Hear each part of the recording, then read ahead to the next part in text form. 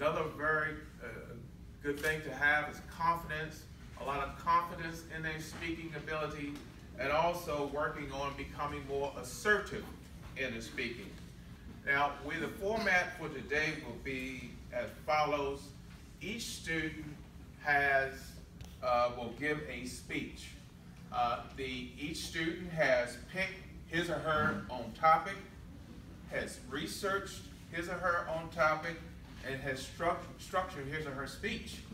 So this is, you will hear a different speech from every student in an area of interest to them. We will also have two debates, and the two topics were again chosen by the students. The first topic that you will hear was whether September 11th should be a national holiday, and the other half of the class will debate the issue of whether bottled water should be abolished. We're going to proceed in the following way. Half of the class is going to do their speeches, and then after that, we're going to do the debate on whether September 11th should be a national holiday, followed by the second half of the class uh, doing their speeches, and then after that, the debate on whether bottled water should be abolished. But now we're going to start off with our speeches, and the students know the order, and they will proceed. For the most part, the students are going to do everything with little involvement by me. So they are ready to begin. Let's begin. Hi, my name is Alicia. You've probably heard of a bus called Greyhound, but today I'm talking about the dog kind of Greyhound. I'm interested in the Greyhound because it is a great animal. I'm here to tell you why it is a great animal. Greyhounds are great because they are good hunters, they are usually a sign of pride, and they live really long, so they are very good pets too. They are good hunters because they are very fast. According to GreyhoundExpressions.org, they can reach 45 miles per hour in three strides. They are also good hunters because they are sight hounds. That means they hunt with their sight. According to GreyhoundExpression.org, they can see up to half a mile away. They are a sign of pride because in the year 1014, King Canute enacted forest laws stating that only noble people could own a greyhound. That means the greyhounds had to be very important. A quote from greyhoundsexpression.org is, in Britain, the ownership of a greyhound was a symbol of pride and nobility. They also live very long, 10 to 12 years. That's three out of six life stages, half of a human's life stages. If you start from when you were a baby, to when you were a child, to when you were a tween. All this information supports why they are good hunters, they represent a sign of pride, and they live very long lives. Now I have told you this, think about if you want a greyhound. I challenge you guys to do more research on greyhounds. Thank you for your time.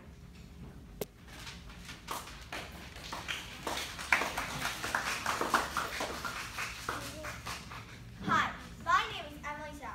My topic today is, should there be pedigree breeding? This topic interests me because I never knew that purebred dogs could be so unhealthy. Pedigree dogs have the same issues. Also, different breeds of dogs can suffer from something called syndrome. And finally, pedigree breeding makes shelters run out of business. My first point that I want to make is that purebred dogs have the same issues. That means the whole breed suffers from one type of body dysfunction. For example, Dalmatians sometimes have to go through skin problems. This is why you should get a mixed breed puppy, since there is a small chance of them getting a problem from one of its specific breeds. That's what I'm talking about next. My second point I want to talk about is heredity. According to dogbreedhealth.org, when purebred dogs breed over and over and over again, they get something called popular sire syndrome. In this problem, a breed's gene pool becomes narrower and narrower. My last point about pedigree breeding is that it closes down shelters. Many people decide to get a purebred dog instead of a shelter one. Sure, purebred dogs could be appealing, but shelter ones can be talented too. In conclusion, I think that pedigree breeding should not be done too often because of heredity issues, breeds having the same problems, and that it closes down shelters. Next time you get a puppy, make sure it doesn't have heredity problems. Then you can ensure your pet a happy and healthy life. Thank you.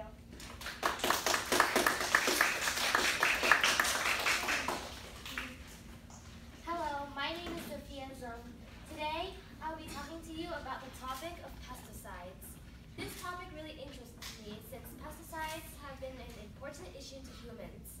I strongly believe that pesticides are bad and can damage more than they can benefit people. They harm human health, hurt the environment and our crops, and can cause indoor pollution. First of all, pesticides really hurt people's health, especially children's. In fact, 1 million worldwide deaths and chronic diseases occur per year because of pesticides.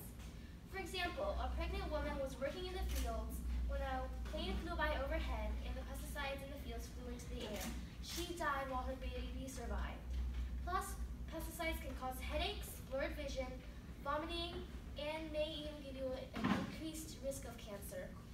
Another reason why pesticides aren't good is because they can hurt the environment and our food as well. The U.S. National Academy of Sciences found that pesticides cause eggshell thinning. They also realized that one third of pesticides were found in our food.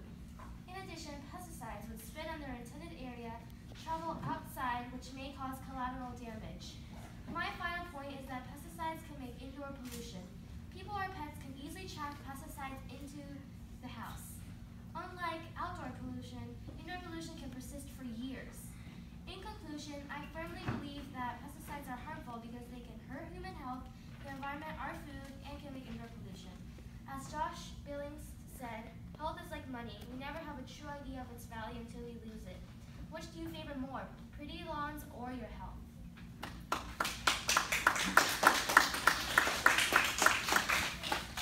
Hello, my name is Yifan Lee, and I'm going to talk about should kids at school learn cursive? My own opinion is yes, since it helps kids with understanding, helps them with more demanding tasks, and helps them on with later life. According to CursiveLogic.com, kids that practice cursive seems to have the more ability to write better. Also, a research by Pam and Daniel show that a pen is mightier than the keyboard. The two came to a conclusion that students who type their notes tend to transcribe the lecture and to process the lecture only on a shallow level. But kids that wrote in cursive could understand the topic, recall, and say things in their own words. Cursive is a demanding task for most kids. According to CursiveLogic.com, Texas's Blackshear Elementary School used to fail at their academics, but now are better thanks to their teacher that suggested them to focus on handwriting. Anyone can achieve their goals just by practicing. Later on in life, many jobs will have you to write a letter and take notes when needed. Signatures are really just your name in cursive. If a student learned their cursive nicely, why won't they bother just to write his or her signature? In conclusion, I believe that cursive needs to be mandatory in school. It helps kids have better handwriting, helps them complete demanding tasks, and helps them with later on life. Think about it. What if this world never took cursive to be a great idea? How would handwriting be at school so good?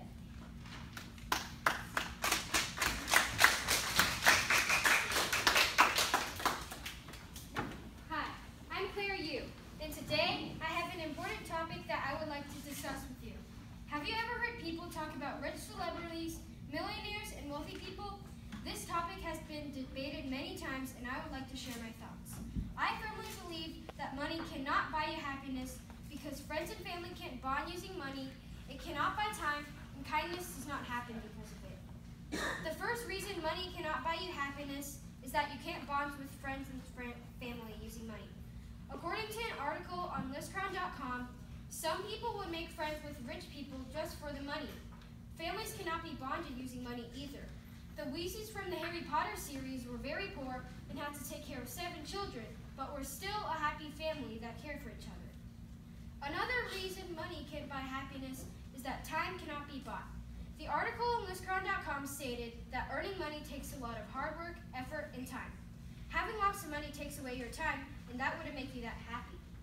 My final reason that money cannot buy happiness is that kindness does not happen because of money. You can feel great about doing a good deed or helping a stranger out. Kindness is not an item in a store. Every small act of it counts. Again, Money can't buy you happiness because it can't help you with friends and family, it can't buy time, and kindness cannot be bought either. Haven't you always wondered why rich people decide to choose money instead of happiness? Remember, happiness can be found in the simplest of things.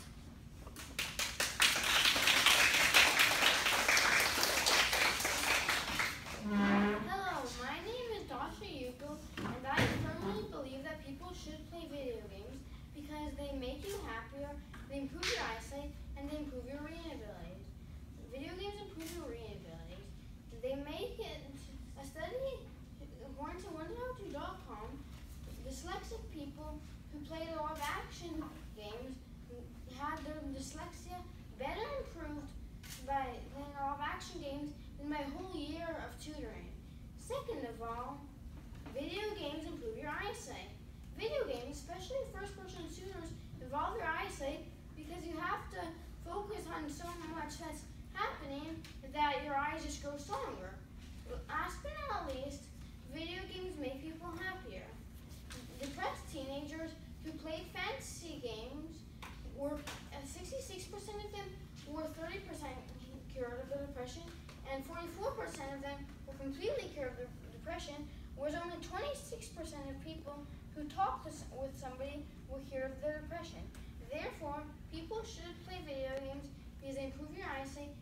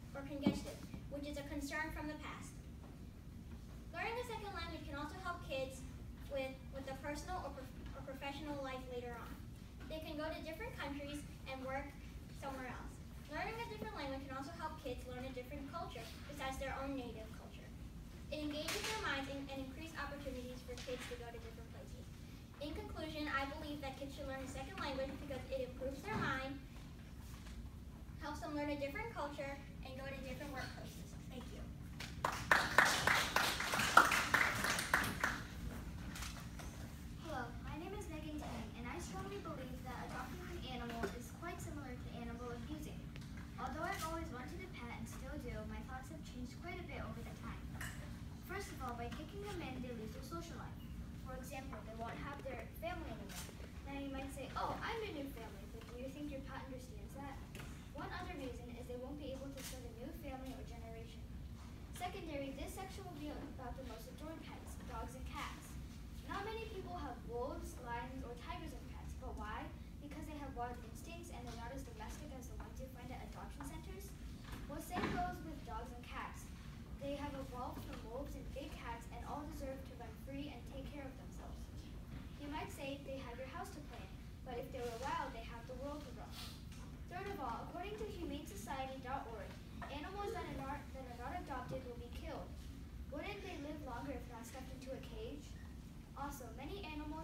adopted live in their filth and their cage is as just as big as them.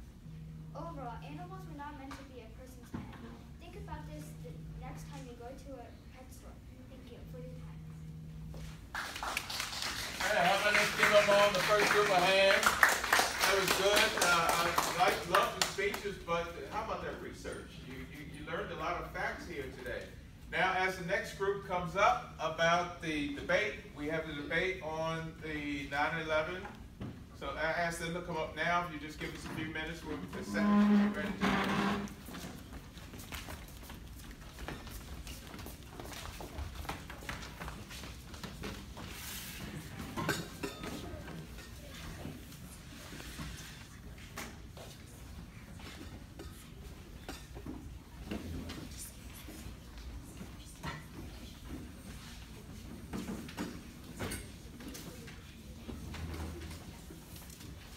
Okay, the way it would go, this is debate on whether uh, September 11th should be a national holiday. Each, each side will have their turns, and then they will begin an unscripted, free-for-all crossfire followed by the conclusion. So with that, the affirmative team pro team may begin. Hi, my name is Elizabeth Dow, and I'm going to be debating with Emily, Laura Javoniver, and Valerie Way. And we believe that 9-11 should be a national holiday. 9-11 should be a national holiday because we should remember all the people who died in 9-11. Also, we should make 9-11 a holiday because we should be thankful for the people who were in 9-11 and were not killed. Also, 9-11 should be a holiday because we should respect all those firefighters and policemen for their hard work to try to keep us safe. Lastly, 9-11 should be a national holiday because we should remember all the loved ones in 9-11 that died. In conclusion, we believe that 9-11 should be a holiday because we should remember the loved ones, be thankful for the people who were in 9-11 and lived, remember the pe- people who we lost, and be thankful for the firefighters and policemen who worked hard to try to keep us safe. Hi, my name is Annie Zhao, and today I will be debating with Grace Young, Christopher Young, and Suki Chagi. And our stance is that 9-11 should not be a holiday. Well, my opponent might say that 9-11 is a time of grief for a nation that lost so many friends, family, and fellow citizens. And that is exactly right. Holidays are supposed to be celebrating something, and we don't want to be like, woohoo, the terrorists attacked us, yay! Also, Patriot Day is already too commercial, even without it being a federal holiday. Besides, we already have a memorial and a day that honors 9-11. Well, let me get back to the first point I stated. National holidays like Columbus Day and Veterans Day are celebrating a great victory, but 9-11 is a tragedy. Holidays are supposed to be happy days or religious celebrations to remember the joy. 9-11 is a horrifying terrorist attack that caused great ruin. It should be remembered as a day where many died, not as a holiday for celebration. Thank you. My opponents may contend that holidays should be happy and joyful, and 9-11 is a sad event. Holidays represent happy events, but 9-11 is for mourning. My opponents may also contend that when holidays were celebrated, it had a meaningful reason for why it was celebrated, and now its meaning is not what it was made for. There would be too many holidays to celebrate um, on the same topic. People will remember 9/11 without a holiday, like the Titanic. There ha- there have been so many tragedies, so why should this one be remembered as a holiday? Their families would be sad to have a holiday and think about their families and friends each year. 9-11 does not need to be a commercial holiday. You may think that it may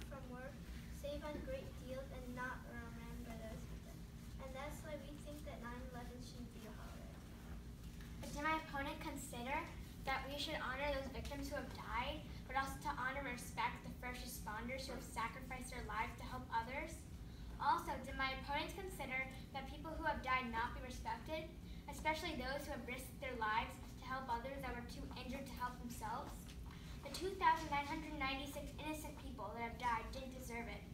They shouldn't have died in the process. If people remember the soldiers in the war, then why can't we remember the people on Flight 93 who did the same thing as soldiers, sacrificed their lives for us? That is why we believe that 9-11 should be a holiday.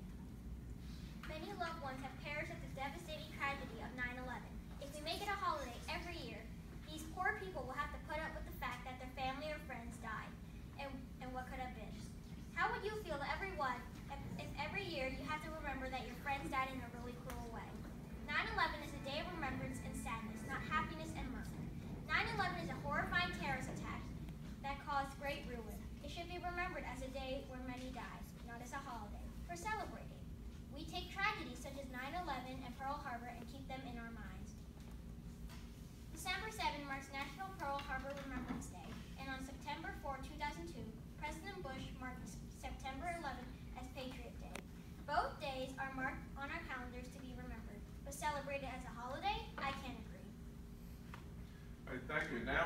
begin the crossfire. It's, it's five minutes, and the negative con team will begin.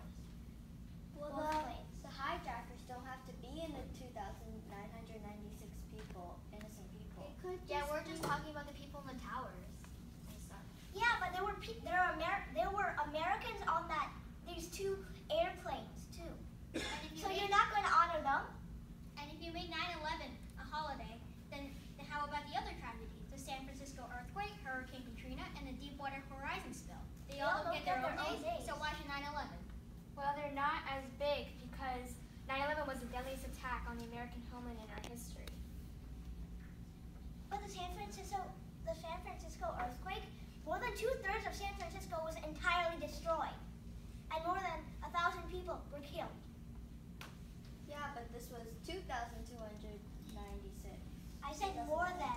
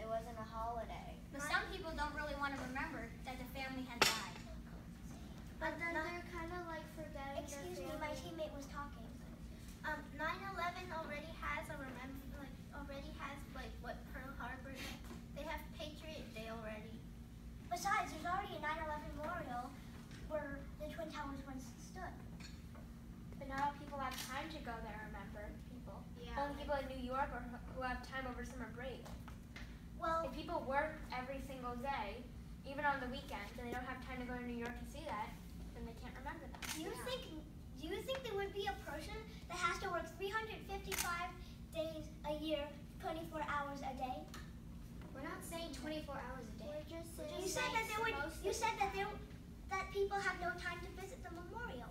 Because they might be super busy. I know, but even if they don't, if they don't go to the memorial, they can still remember. They don't have to see a memorial to remember. But some people don't. But some people forget. Excuse me. forget. My teammate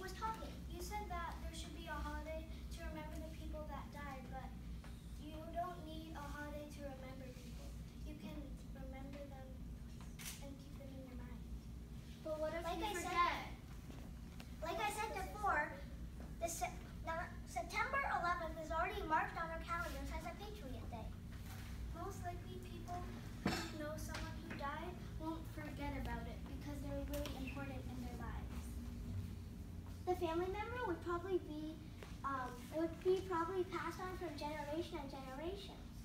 Well, then why can't they make it a holiday? Wouldn't that be more respectful? As I said before, you don't need 9/11 as a federal holiday to honor the people that died on that day.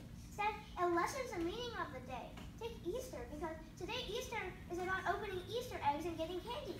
But once Easter revolved around religion, so you can see how much just even a deeply rooted holiday, deeply rooted in religion, can become so distorted.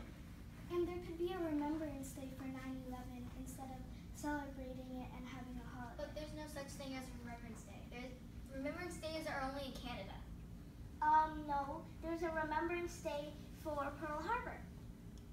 And it's on December 7th. Where'd you get your facts?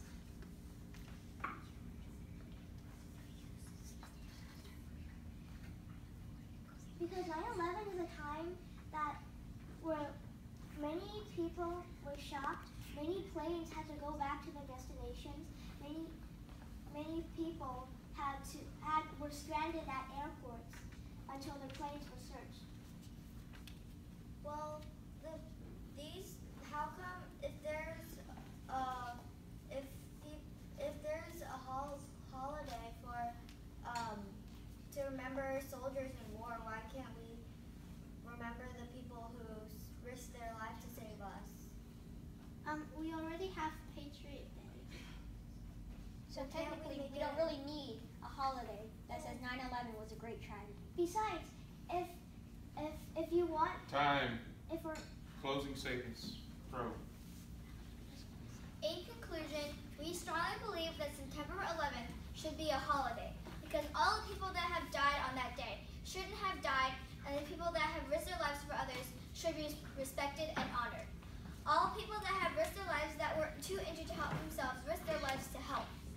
We believe that those who have died should be remembered. Those who risked their lives deserve to be remembered and honored. This is why we strongly believe that September 11th should be a national holiday, so all the people that have died can be honored. Thank you. In conclusion, we strongly believe 9/11 should not be a holiday because tragedies shouldn't be celebrated. Instead, we think these tragedies should be remembered for the World Trade Center being crashed, not celebrated with picnics or party when eventually people will forget all about what the holiday was even for. 9/11 is not a holiday. Thank you for your time. All right, let's give them all a good hand.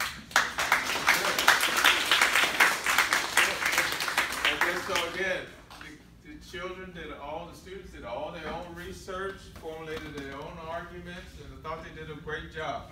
So let's give them another hand as the next group of speakers come up. So next group of speakers come up, please.